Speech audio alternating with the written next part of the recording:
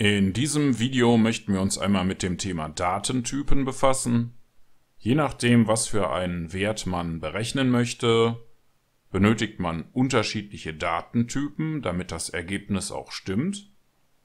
Und wir wollen uns einmal anschauen, wie man sowas macht. Um das zu tun, klicken wir im MetaTrader auf dieses kleine Symbol oder drücken die F4-Taste. Das ruft dann hier den Meta-Editor auf und hier klicken wir auf Datei, Neu, Expert Advisor aus Vorlage, Weiter. Ich vergebe hier einmal den Namen Simple Datentypen, klicke auf Weiter, Weiter und Fertigstellen und jetzt kann alles oberhalb der OnTick-Funktion hier gelöscht werden. Auch die zwei Kommentarzeilen werden entfernt.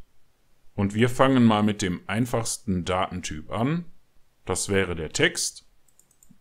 In MQL5 ist das eine sogenannte String-Variable. Die bekommt einen Namen, in unserem Fall Text, und wir weisen hier einen Wert zu. Das ist eine Textkette.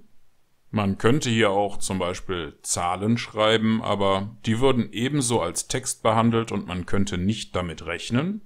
Für Zahlen gibt es andere Datentypen, zum Beispiel den Datentyp Double, der ist für Fließkommazahlen der richtige Datentyp. Wir möchten in unserem Fall die Balance ermitteln, also das Bruttoguthaben auf unserem Konto.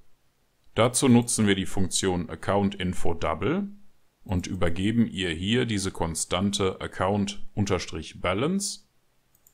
Man erkennt diese reservierten Konstanten für bestimmte Werte daran, dass sie in roter Farbe und in Großschrift dargestellt werden. Damit wir auch etwas sehen, nutzen wir jetzt den Command-Befehl und lassen uns den Text gefolgt von der Balance ausgeben, klicken hier auf Kompilieren und wenn das ohne Fehler funktioniert hat, dann klicken wir hier oben auf dieses kleine Symbol oder drücken F4, um in den MetaTrader zurückzukehren. Und im MetaTrader haben wir im letzten Video gelernt, wie man den Strategietester verwendet.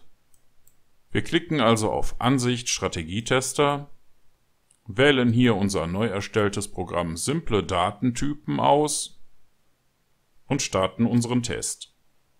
Und jetzt wird hier oben der Wert ist, gefolgt von dem ermittelten Wert ausgegeben. Ich habe bewusst in diesem Fall einmal als Kontogröße 100.000 Dollar und 12 Cent eingegeben. Wie man sieht, werden die Nachkommastellen mit ausgegeben. Wir haben schon die Funktion TimeLocal kennengelernt. Die gibt uns den Typ DateTime zurück, um beispielsweise die lokale Zeit zu berechnen. Wenn wir das einmal kompilieren und einen neuen Test starten, dann bekommen wir hier eine Ausgabe in diesem Format. Für ganze Zahlen gibt es den Datentyp Integer oder hier abgekürzt int.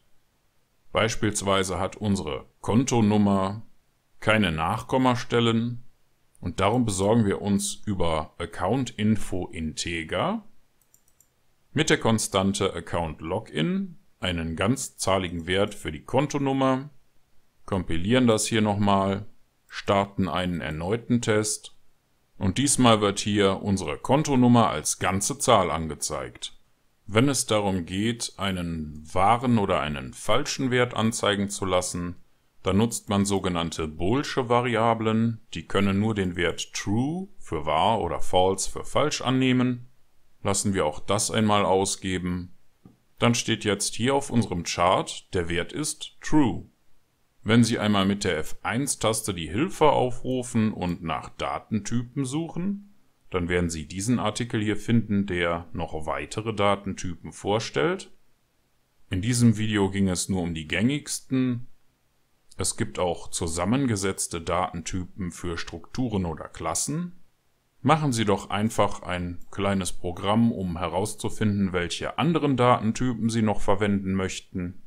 Denn in diesem kurzen Video haben Sie gelernt, wie Sie mit Hilfe von unterschiedlichen Datentypen Werte auf Ihrem Chart ausgeben lassen können.